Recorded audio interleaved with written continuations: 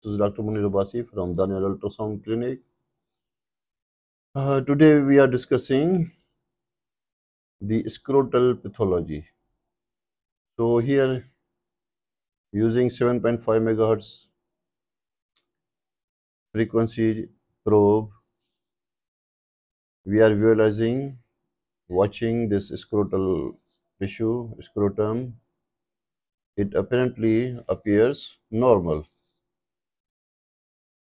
This is the lower pole, this is the upper pole, and this is the parenchyma of the testicle, which appears normal in size, shape, and echotexture. Now, here is a pathology. You can see this.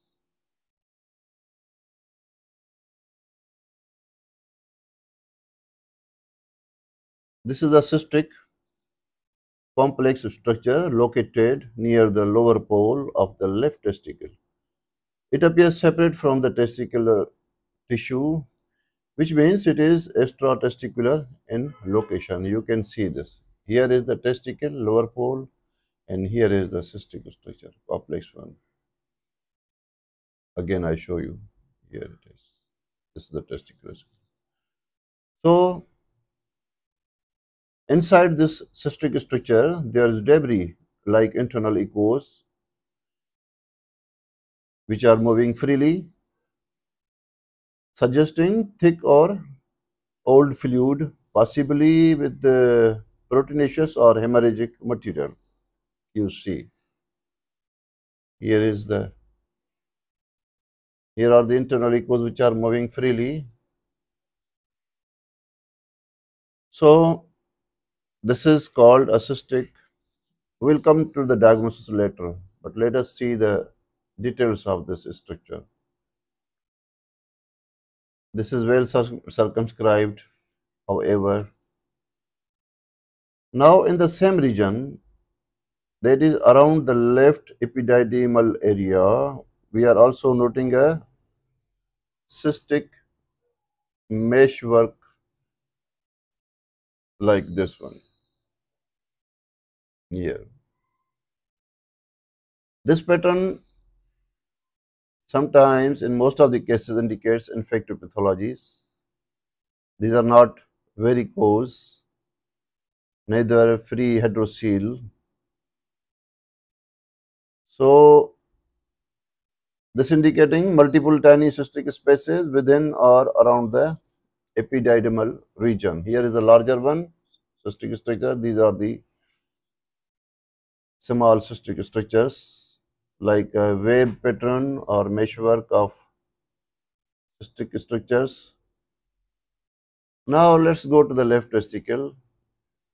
The left testicle itself appears normal in size, shape and echotexture with no solid or focal abnormality. There's no hydrocele as I told you, neither any sign of varicocele so the impression would be left epididymal complex, cystic, uh, spermatocele containing internal echoes, possibly representing old hemorrhagic or infected contents, and left, left testicle itself appears sonographically normal. Now, so friend, this is a case of an epididymal complex cyst near the lower pole of the left testis showing internal debris but a normal testicle itself. Also remember lesions separate from the testis are usually benign epididymal cysts or spermatoceles. Additionally, I can show you the contralateral testicle. Here it is. It appears absolutely normal, showing no signs of hydrocele or any spermatose. There's no spermatocele, no solid or cystic mass. Oh yes, here is also another small cystic structure in the upper pole of the right testicle. There are two cystic structures. These are two small spermatoceles in the head of the te right testicle. This is an additional finding still. The larger one measures approximately 1.4 centimeters. So, he is also same similar meshwork of cystic structures. So, this is a bilateral pathology. The left cystic structure appears quite larger and measuring approximately uh, 3.8 centimeters into 3.7 centimeters. So this is a bilateral pathology. Left one is more effect, uh, affected. The right one is less affected.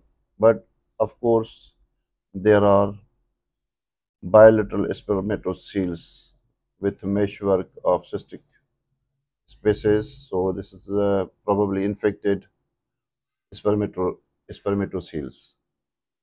Here it is once again. Thank you very much.